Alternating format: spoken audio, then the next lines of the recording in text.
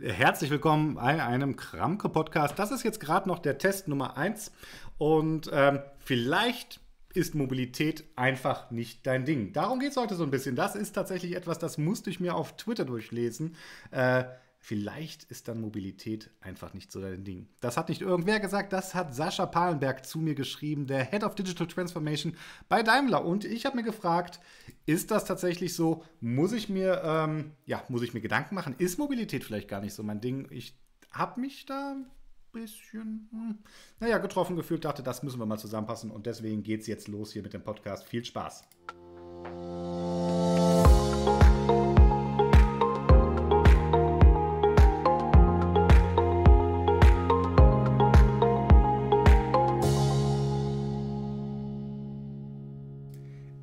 Ist auch heute wieder nicht nur ein ja reiner Podcast, sondern es ist ein ja Pod- und Videocast. Das heißt, die von euch, äh, ihr könnt das entweder in meinem Podcast hören oder vielleicht seht es auch gerade auf YouTube, denn da habe ich das Ganze jetzt auch nochmal gepostet, weil ich dachte, es ist mit so ein paar Bilder. Bilder sagen manchmal mehr als tausend Worte und deswegen, ja, gehen wir mal los. Ich, worum geht es eigentlich? Vielleicht ist Mobilität nicht so dein Ding. Ähm, Wieso muss ich das lesen oder was? Wo kommt das zurück? Und ich dachte, ich fange einfach mal von vorne an. Und zwar hat der Sascha Palenberg, wie gesagt, äh, hier steht es ja auch übrigens. Ähm, ja doch, ihr könnt das so gerade noch lesen. Warte mal, Chip. Former, na jetzt kann man es natürlich nicht mehr lesen, Möb. Ja, da kann man es lesen.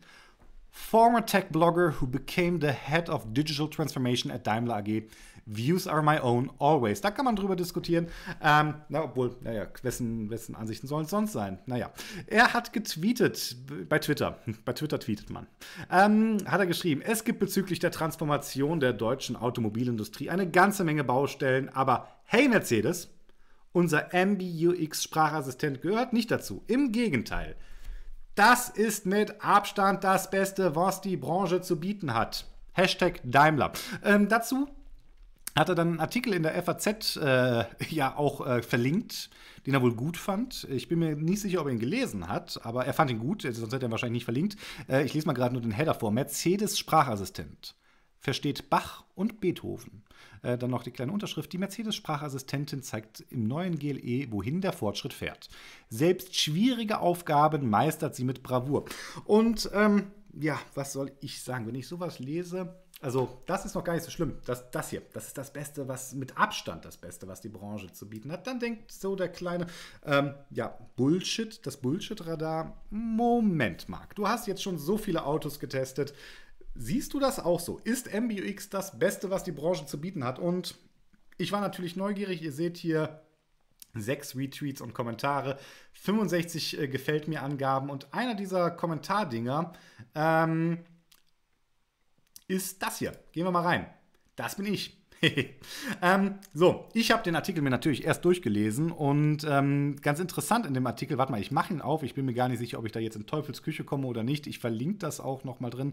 Ähm, hier steht nämlich drin, dass der Michael Speer begeistert war, die Musikauswahl mit gehobenen Ansprüchen etwa für klassische Musik. Und zwar konnte das MBUX, wenn du Spiele Beethovens Appassionata ähm, gesagt hast, hey Mercedes, spiele Beethovens Appassionata, dann wurde ähm, die Klaviersonate Nummer 23 gespielt und Siri würde dann halt immer die Mondscheinsonate abspielen.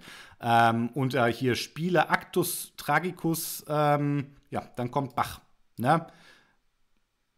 Die Bach-Kantate Gotteszeit ist die allerbeste Zeit. Naja, ist nicht ganz mein Musikgeschmack, darum geht es nicht. Ähm, ganz interessant war, dass hier später im Artikel dann auch noch ein bisschen kommt, ja, du kannst die Sitzheizung damit anmachen. Ähm, den Satz hier fand ich noch interessant. Ansonsten hält sich der Nutzwort in Grenzen und zudem springt die Assistentin an, sobald man Mercedes sagt, weil man sich über das Auto, über die Marke unterhält. Das ist mir auch aufgefallen. Naja, ich habe dann dazu geschrieben, ähm, weil ich das vom Sascha so nicht stehen lassen konnte oder mal nachfragen wollte eigentlich. Absolute Nischenanwendung bei der Musikauswahl. Kann der Sprachassistent mittlerweile Witze erzählen? Und warum das Witz, witzig ist oder warum das wichtig ist, dazu komme ich gleich nochmal, warum der Witze erzählen sollte. Ähm, dann habe ich noch gesagt, wenn du den besten Sprachassistenten der Branche sehen willst, dreh mal eine Runde im Polestar 2 äh, mit Android Automotive OS. Das ist, ich weiß nicht, ob ihr mein Video da schon zugesehen habt oder meinen Podcast gehört habt. Ähm, das hat mir sehr, sehr imponiert. Und dann hier noch gerade der Screenshot äh, mit der Markierung von mir äh, aus dem Artikel.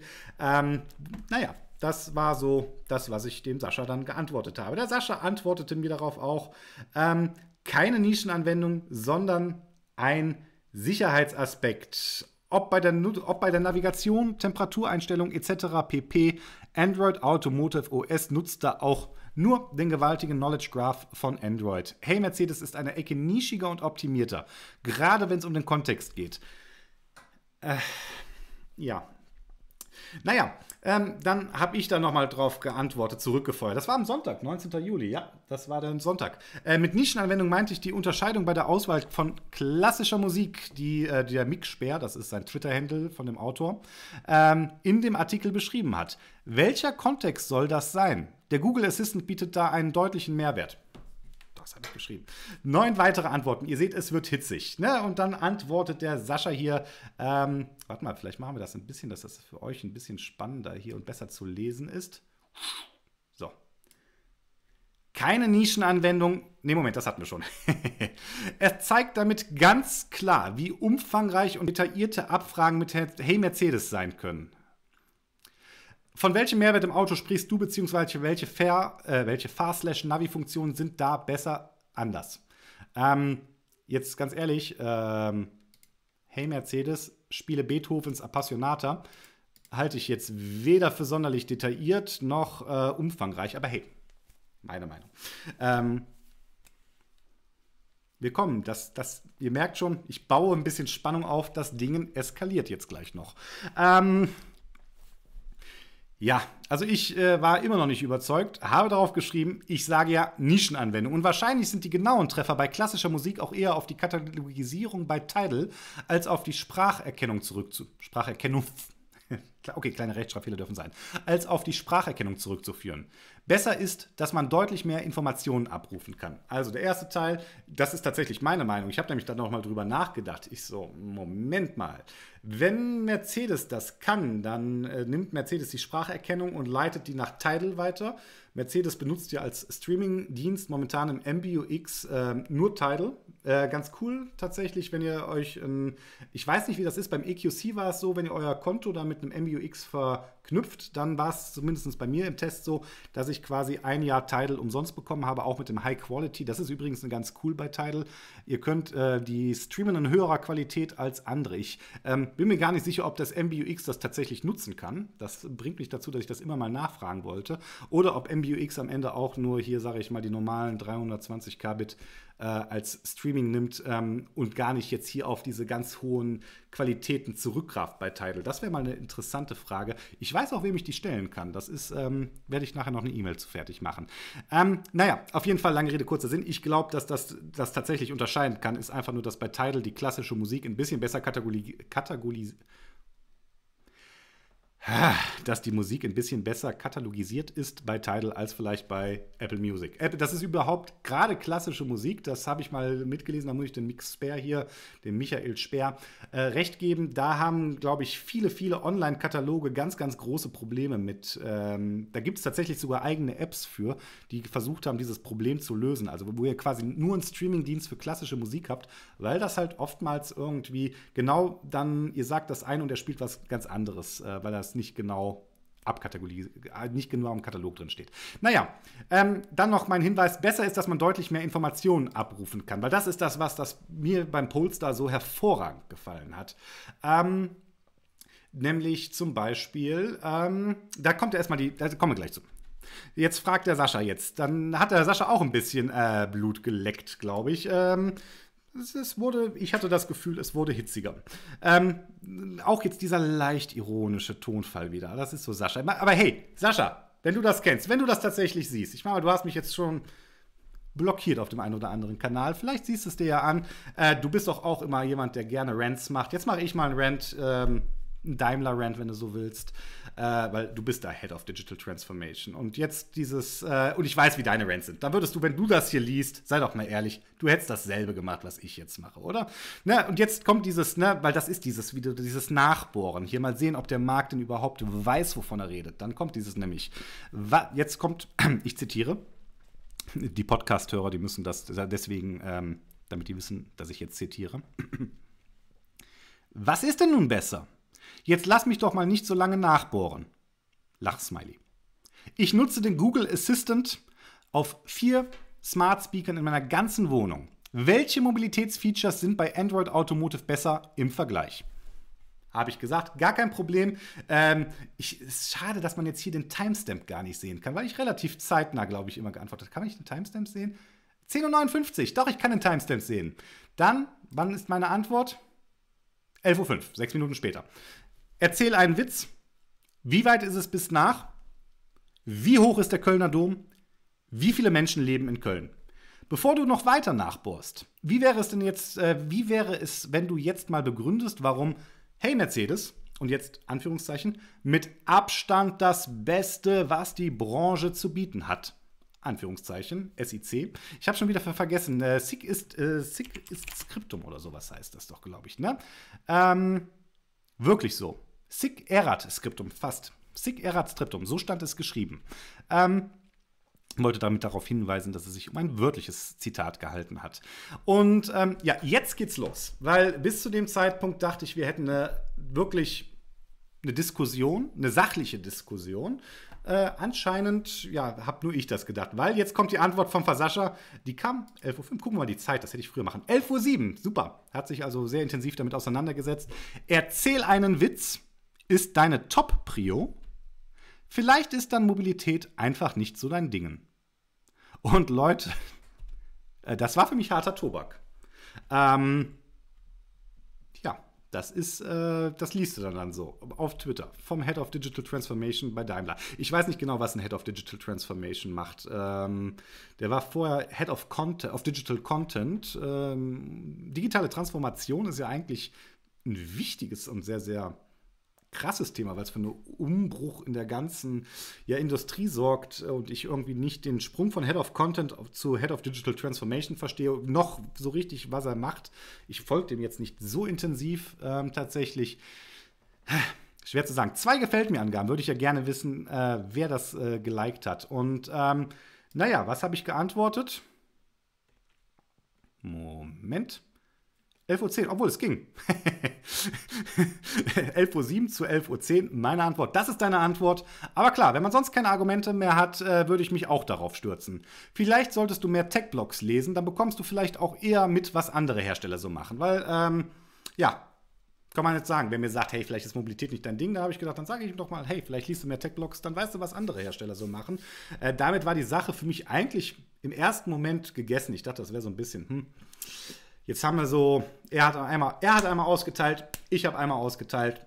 Dann dachte ich, werden wir mehr oder weniger quitt. Naja, stellt sich raus, waren wir nicht. Äh, darauf antwortet er nur noch, ja, daran wird es liegen. Ähm, so, und dann dachte ich, okay, vielleicht kriegen wir das, vielleicht kriegen wir das noch gerettet. Ne? Weil, ne, mir ist klar, dass der Sascha, hey, und vielleicht guckst du es ja, Sascha. Mir ist klar, dass du Tech-Blogs liest. Ich denke mal, das wird sich bei dir nie geändert haben. Ich denke, du bist immer noch einer der bestinformiertesten Menschen. Ähm, ja, doch, ich, eigentlich denke ich das. Also deswegen kann ich diese erste Aussage, das Beste, was die Branche zu bieten hat, nicht so verstehen. Aber hey, ich denke, ich denk, du liest eigentlich noch Tech-Blogs. Sollte man erkennen, dass das, ähm, naja, auf jeden Fall habe ich geschrieben, ja, genauso wie Mobilität vielleicht nicht mein Ding ist. Einfach um zu zeigen, hey, da habe ich mich gerade ein bisschen ein bisschen, ich habe mich ziemlich beleidigt gefühlt, um mal ganz ehrlich zu sein.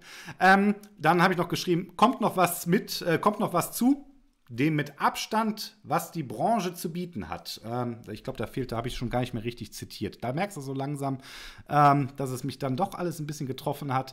Äh, dann noch darunter, wer so ein Statement raushaut, sollte es auch begründen können. Weil ganz ehrlich, wer so ein Statement raushaut, also entweder ist das Marketing blabla oder du glaubst es wirklich, aber das kann ich jetzt immer noch nicht sagen, äh, was es denn nun ist. Ähm, dann habe ich gedacht, danach, okay, 11.19 Uhr, dann habe ich vielleicht noch gedacht, okay, ich mache hier, ich baue goldene Brücken. Äh, gilt übrigens immer noch das Angebot. Ich baue goldene Brücken 11.41 Uhr, also ungefähr eine halbe Stunde später, ähm, weil ich dachte, ja, das kannst du doch jetzt nicht so im Raum stehen lassen. Du willst dich, du willst doch eigentlich, eigentlich will ich ja, weil Mobilität, hey Leute, Mobilität ist mein Ding. Ich bin super viel im Auto unterwegs. Ich habe super viele Autos getestet. Ich mache das gerne. Ich interessiere mich dafür in jedem Belangen. Ähm, naja, deswegen habe ich noch einen letzten Tweet abgesetzt, so äh, versucht es zu retten. Ähm, Dann habe ich geschrieben, was hältst du davon, wenn wir ein Video-Podcast zu dem Thema Sprachassistent-Infotainment-System machen? Also sowas, wie ich jetzt hier mache im Prinzip. Ähm, das MBUX gehört ja zu den besseren Systemen und ich denke, es wäre spannend zu hören, was noch so alles kommt und wie du den Markt aus der Perspektive Daimler so siehst. Das war so mein Versuch, das Ding noch mal irgendwie zu drehen und ja, hm, hat nicht so geklappt, äh, will ich sagen. Muss ich sagen jetzt. Ähm, jetzt weiß ich gar nicht, ich habe das mal kurz intern besprochen. Ich weiß gar nicht, ähm, ich kann. Es ging nämlich weiter. Die Geschichte, ihr könnt euch das denken, die ist hier noch nicht zu Ende. Ähm, was ihr bis jetzt, was bisher geschah. Nochmal kurz die Zusammenfassung.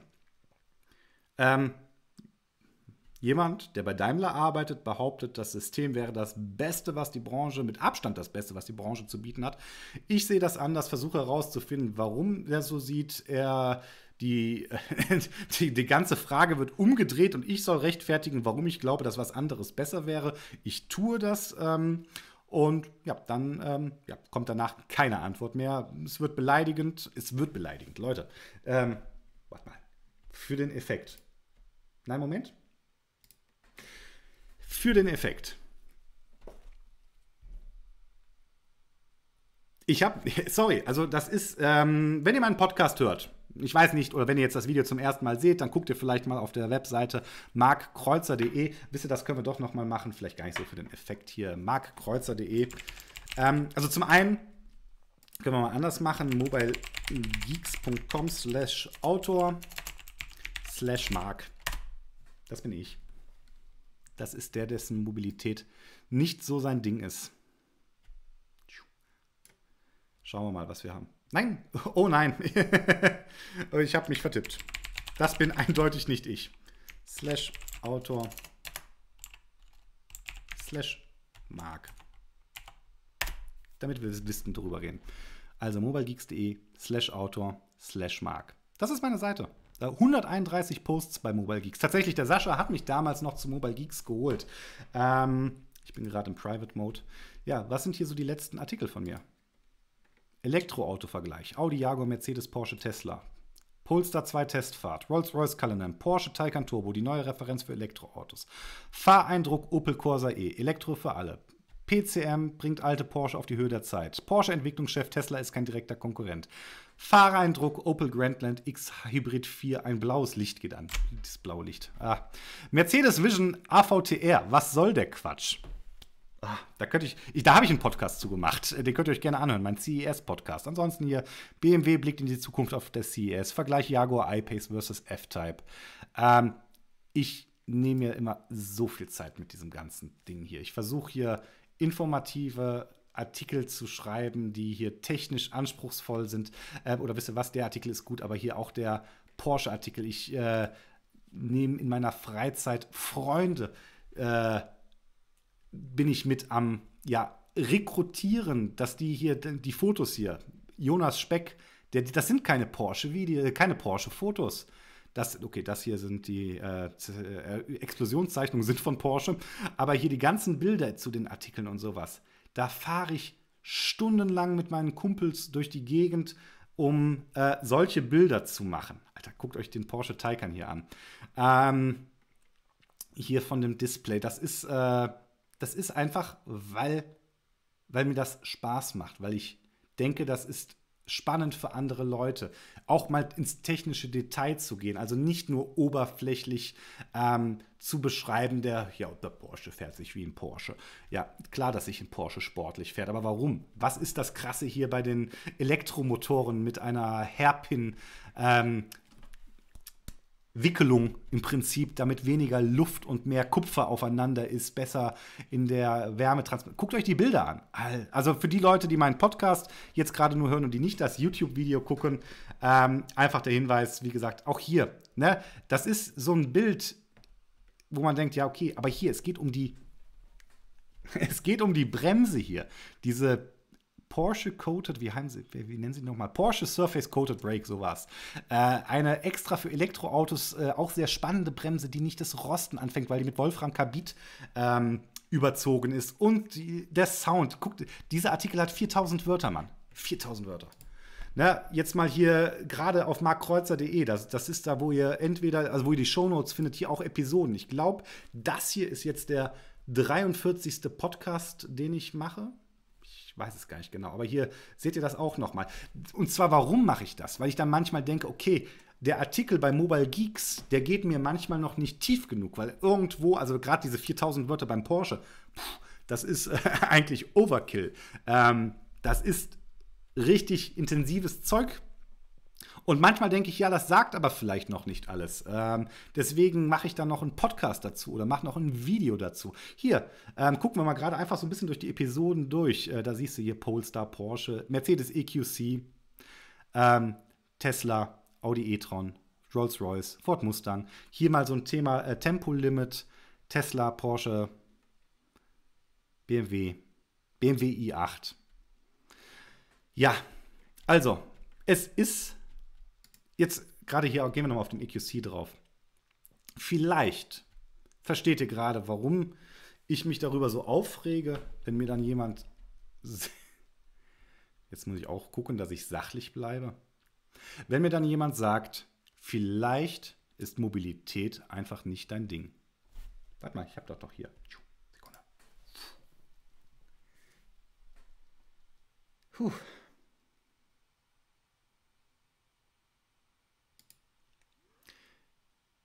Ist harter Tobak. Also für mich ist es harter Tobak. Ähm, und die Geschichte geht noch weiter.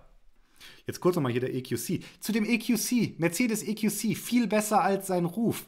Ähm, ich will ja nicht sagen, dass ich Dankbarkeit von jemand erwarte, der bei Daimler arbeitet. Interessiert mich am Ende tatsächlich nicht. Das ist auch, das ist auch Journalismus hier. Das ist Pressearbeit. Das ist nicht Influencer-Scheiß, sorry.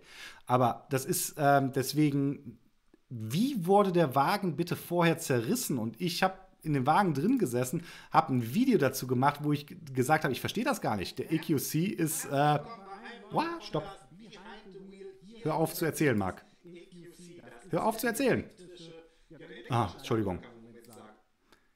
So. Ne?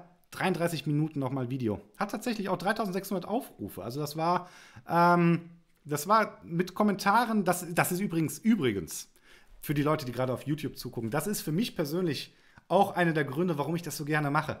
Ich rede gern mit euch, ich diskutiere gerne, ich versuche gerne Sachen zu lernen, was Neues zu verstehen, andere Perspektiven zu sehen. Ich sage nicht, dass ich äh, die Weisheit mit Löffeln gefressen habe, aber es geht mir halt einfach darum, ähm, ich will mich weiterentwickeln, ich will hören, was ihr so seht. Ähm, ja, ähm, hier, das hat das hier, die Nummer von dem, der sich die EQC bestellt hat, der jetzt, nachdem er meinen Artikel gelesen hat, hält sich die Vorfreude in Grenzen, wo ich gesagt habe, nein, das wollte ich nicht. Ich hoffe, er freut sich weiter über das Thema. Ähm, ja, lange Rede, kurzer Sinn. Auch hier nochmal einfach auch die, die Fotoshootings, die ich da mache. Auch hier wieder alles Fotos, die der Jonas Speck gemacht hat.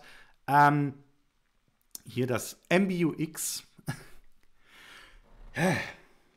ja, Leute, also ich hoffe, die, die es gesehen haben, wissen, dass Mobilität mein Ding ist und ich das oder deswegen war mir das auch jetzt gerade so ein bisschen wichtig, weil es steht halt im Internet so drin und das von jemand, der bei einer, für mich von außen, wenn jemand Head of irgendwas ist, ist das für mich eine hohe Position normalerweise. Keine Ahnung, wo der Sascha jetzt im Organigramm von Mercedes tatsächlich steht, kann ich euch nicht sagen. Das hat, ich fand's harter Tobak. Vor allem, jetzt kommt der nächste Punkt, der mich so ein bisschen ähm, stört, weil es, äh, ganz ehrlich, mit dem Punkt hier, nachdem er darauf nicht mehr geantwortet hatte, habe ich gesagt, ja, okay, war es äh, die, dieser Diskussion. Diese Diskussion ist für mich jetzt irgendwo vorbei, brauchen wir nicht weiter drüber reden. Ähm, ja, war es dann aber nicht. war aber dann nicht vorbei, weil LinkedIn, also ich habe es natürlich nicht vergessen, hey, und ähm, ihr merkt schon, es hat mich auch getroffen, trifft mich immer noch.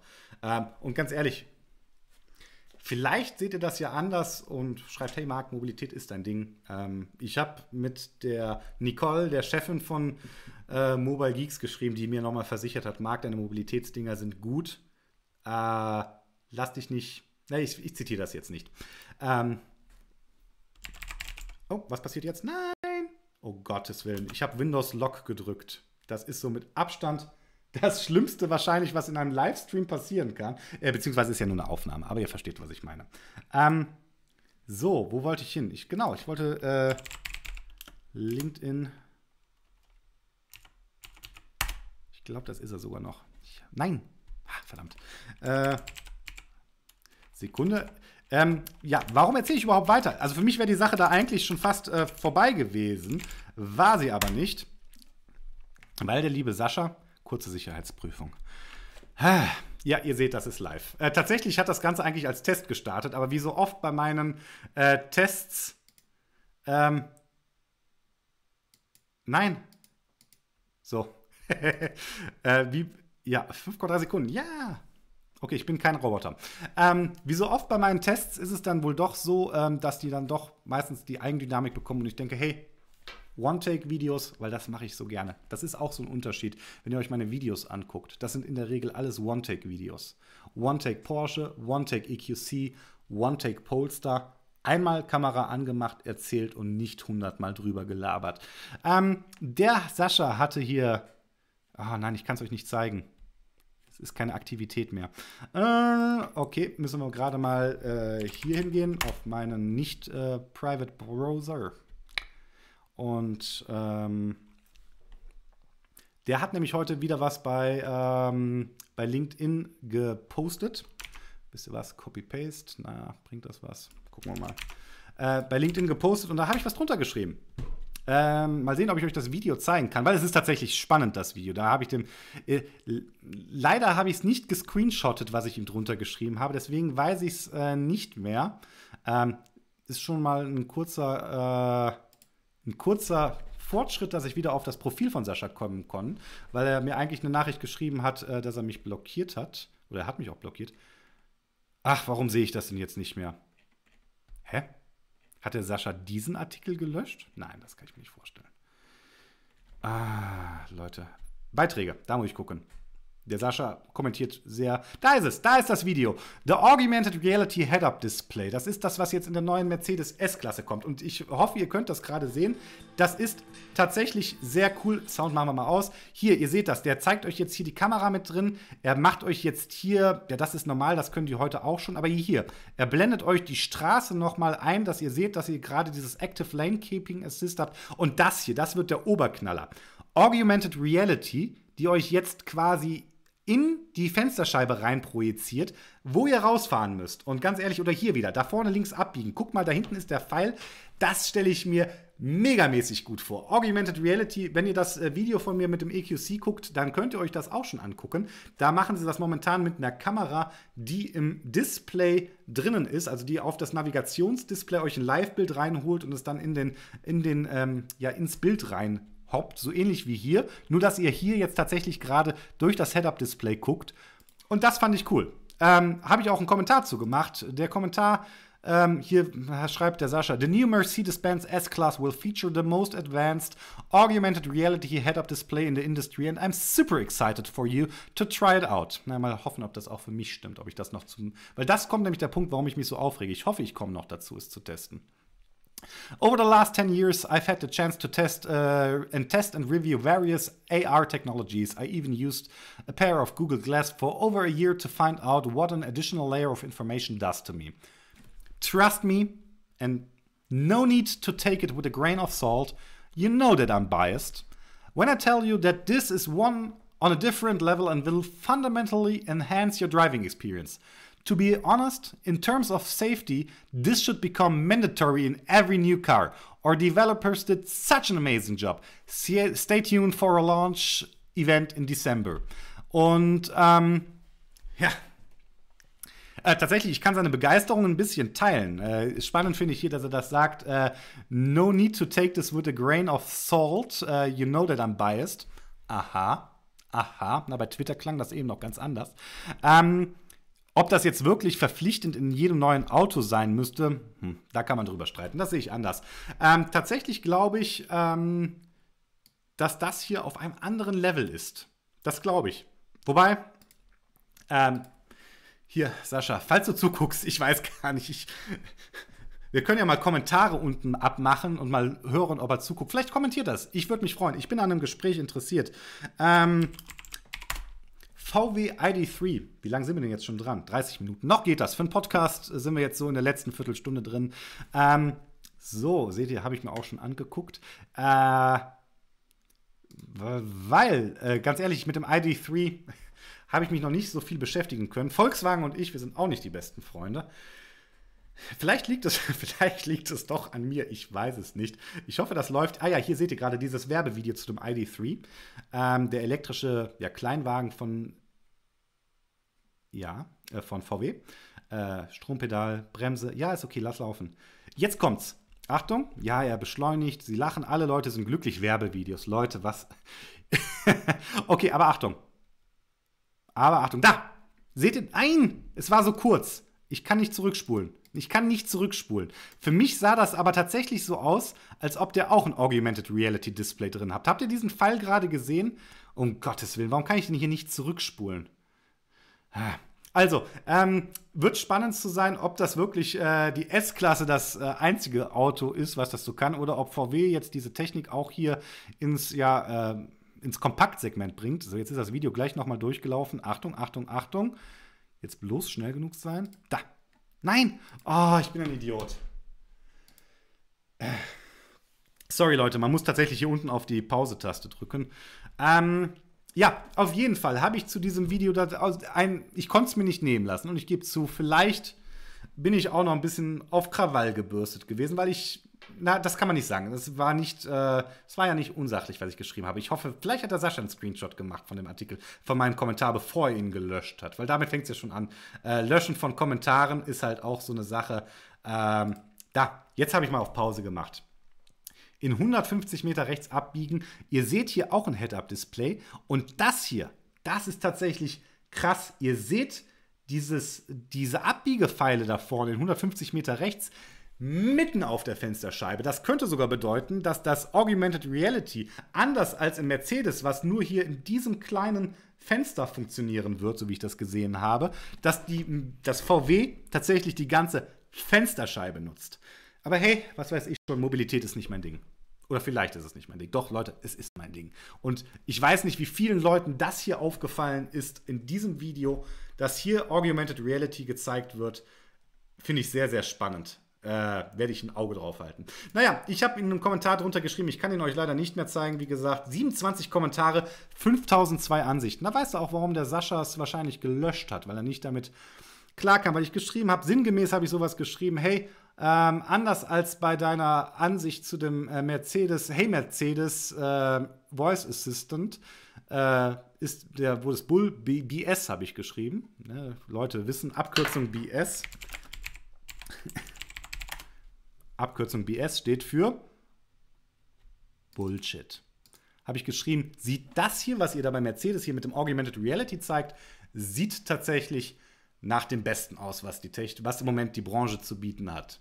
Das habe ich gesagt. Hey, ist ja auch ehrlich. Aber der Voice Assistant. Ja, ähm, bin ich nicht der Meinung, dass das MBUX das Beste ist, was die Branche zu bieten hat. Das ist, äh, kann man drüber diskutieren. Könnt ihr mir gerne mal sagen, wie ihr das seht. Ich persönlich sehe das so, dass ein Auto durchaus eine Persönlichkeit haben sollte. Das wird bei Mercedes auch probiert. Mercedes kann durchaus auf so Fragen antworten, wenn ich das richtig im Kopf habe, wie findest du BMW oder sowas? Ich bin mir nicht 100% sicher. Ich bin mir ziemlich sicher, dass das Ding nicht in der Lage war, ähm, einen Witz einen Witz zu erzählen. Ähm, das ist live. Einen Witz zu erzählen. Ähm, ich glaube, da kam immer sowas wie: Deutsche Ingenieure sind nicht für ihre Witze bekannt. Was ich doof finde. Ich bin Ingenieur. Nein, Spaß dir, Marc. Ähm, ich bin Ingenieur. Zweimal. Und ich finde, ich finde, und ich finde mich witzig. Ja. Ähm, zurück ähm, ja, zu der ganzen Geschichte. Ähm, kann man darüber diskutieren. Ich bin immer noch der Meinung, wer so ein Statement raushaut, ist das Beste, was die Branche zu bieten hat. Der sollte das. Ähm, naja, Moment, die Geschichte ist ja noch nicht vorbei. Was ist als nächstes passiert? Ähm, Kommentar wurde gelöscht. Ich bekam eine Nachricht, auf die ich nicht antworten kann, wo sinngemäß sowas drinsteht wie, ähm, hey Marc, hör bitte auf, mich persönlich anzugreifen. Äh, oh, ich will nicht von dir persönlich angegriffen werden, nicht weiter persönlich angegriffen werden von dir. Irgendwie sowas. Äh, deswegen ähm, beende ich jetzt Kommunikation. Ich, ich äh, habe kurz mit einem Anwalt in der Familie gesprochen, ob ich den äh, Chatverlauf hier auch äh, posten darf. Vielleicht gibt der Sascha ja sein Okay. Ähm, meine Anwältin meinte, hm, lass es mal lieber. Deswegen lasse ich es mal lieber. Äh, das stand sinngemäß drin und ähm, ich, das war die, und, und ich war sofort blockiert bei LinkedIn. Ich konnte gar nicht darauf antworten. Ich habe direkt darauf geantwortet, mehr oder weniger. Einen langen Text geschrieben, wo ich sage so, ähm, Moment mal, du beleidigst mich, Sascha, und jetzt versuchst du hier das Opfer zu sein. Ernsthaft? Ähm, was habe ich dann noch weiter geschrieben? Ähm, ja, sinngemäß, dass ich immer noch da auf eine Antwort drauf warte. Ähm, eine Antwort drauf warte, warum das MBX das Beste der Ding ist. Eigentlich habe ich, das habe ich auch noch reingeschrieben, weil eigentlich habe ich mit einer Entschuldigung von ihm gerechnet. Ähm, ich bin mal gespannt, was ihr jetzt hier so in den Kommentaren reinschreibt. Ich mache es ganz öffentlich. Ich mache es, ich mach's, äh, ja, kann man darüber diskutieren. Habe ich auch vorher mit Freunden darüber diskutiert, ob ich die Nummer überhaupt jetzt so öffentlich machen soll oder nicht. Naja, auf jeden Fall habe ich geschrieben, dass es mir bis zu dem Zeitpunkt, wo er mich dann jetzt auf einmal noch blockiert hat, mir eigentlich egal war und ich es mir jetzt aber nochmal überlege, ob ich damit jetzt wirklich so leben kann oder ob ich das machen soll. Weil ganz ehrlich, er arbeitet bei Daimler, Leute. Da habe ich noch geschrieben, du arbeitest bei Daimler. Wenn du öffentliche Daimler-Statements machst, dann werde ich, wenn ich es interessant finde, werde ich da weiter drauf eingehen. Das, sorry, das, du kannst nicht, nimm, stellt euch mal vor, wenn, ihr, wenn jeder Hersteller den Journalisten sagt, nee, hier, ähm, wir, mit dir reden wir nicht mehr. Äh, ja, ähm, und dann habe ich noch geschrieben, dass sie jetzt aufgrund dieser Nummer jetzt, also weil ich habe ja, das Lustige ist, ich habe gesehen, dass er mich blockiert hat, weil äh, auf einmal war hier, stand nicht mehr sein Name da. Ich konnte aber meinen Chatverlauf mit ihm sehen. Ist ganz lustig, wenn euch jemand bei LinkedIn blockiert, dann äh, seht ihr noch den Chatverlauf. Ihr wisst also, wer das ist. Aber dann kam erst eine Mitteilung, möchten Sie das annehmen von dieser unbekannten Person oder ist das ein Sicherheitsrisiko? Ich so, hä? Naja, und ich hatte noch reingeschrieben, ähm, dass ich mir überlege, ob ich das Ding jetzt doch noch mal irgendwie weiter aufgreife, diese ganze Story. Und ähm, da kam dann wieder sinngemäß, äh, dann hat er mich entblockt, hat sinngemäß sowas wie geschrieben, wie ich habe dich jetzt entblockt. Ähm, Marc, geht es noch, hier das jetzt noch mal aufzugreifen? Marc, das ist ein Scherz, oder? Nee, Sascha, es ist kein Scherz. Ah, ich weiß, warum die Rants so Spaß gemacht haben früher. Ich, mir macht es auch ein bisschen das Ranten Spaß. Es ist kein Scherz, weil ich, ähm, vielleicht verstehst du es jetzt ein bisschen besser, warum ich mich hier so beleidigt gefühlt habe. Ähm, aber nicht nur das, das Beleidigen.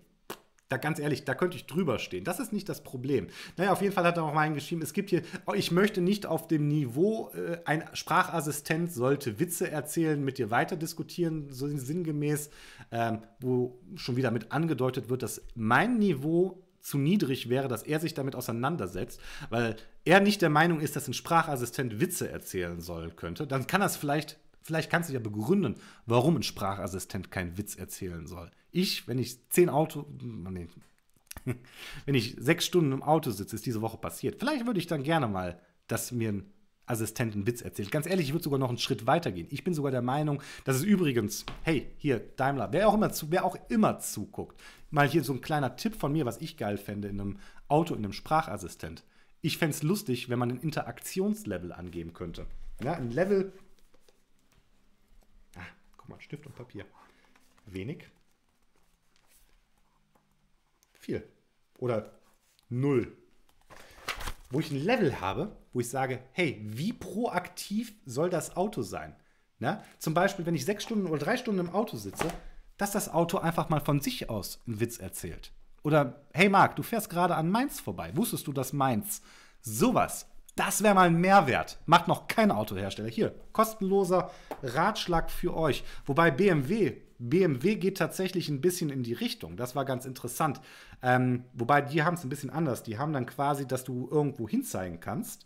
Das Auto erkennt, wo du hinzeigst, kann das außerhalb des Autos rausrechnen, weiß, aha, du zeigst da auf das äh, Café sowieso und sagt dir, hey, das ist das Café sowieso. Soll ich den Tisch reservieren oder was auch immer.